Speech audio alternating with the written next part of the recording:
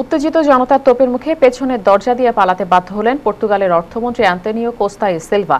জলবায়ু সংকট মোকাবেলায় ব্যর্থতা ও দূষণকারী প্রতিষ্ঠানের সাথে সখ্যতার অভিযোগ রয়েছে তার বিরুদ্ধে।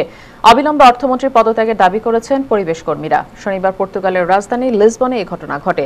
এদিন সকাল থেকেই রাজপথে নামে হাজারো জনতা মিছিল নিয়ে শহর প্রদক্ষিণের সময় একটি সরকারি ভবনের সামনে দাঁড়িয়ে পড়ে দলটি।